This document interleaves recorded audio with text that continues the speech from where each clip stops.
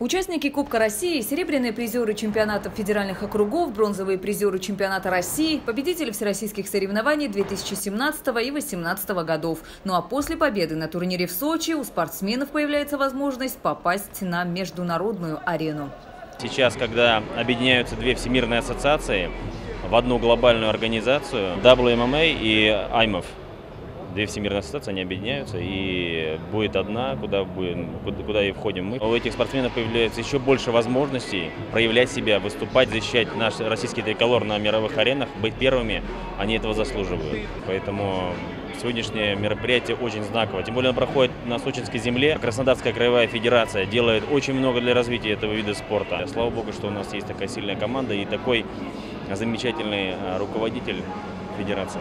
Краснодарский край на Кубке России по смешанным боевым единоборствам ММА представляет целая сборная. И в командном зачете спортсмены могут претендовать на лидерство, несмотря на то, что на Кубани этот вид спорта развивается лишь пятый год.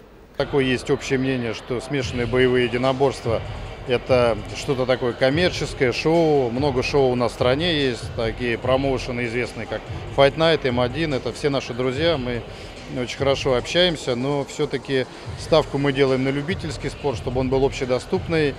Э, в Сочи у нас как раз вот в прошлом году впервые открылось отделение в спортшколе вот, смешанных боевых единоборств. Ну и главное, ради чего борются сегодня ребята на ринге? Ради чего? Ради того, чтобы стать чемпионом Кубка России. Вот ради чего, да. Чтобы принести очки своей команде, своему региону.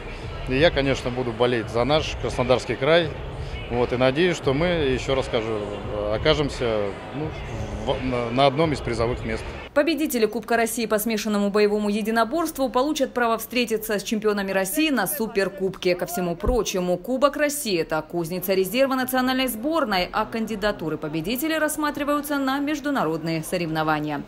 8 сентября бои начнутся в 18 часов и вход в ледяной куб свободный. Инга Габеша, Михаил Дубинин, телекомпания «ФКТ».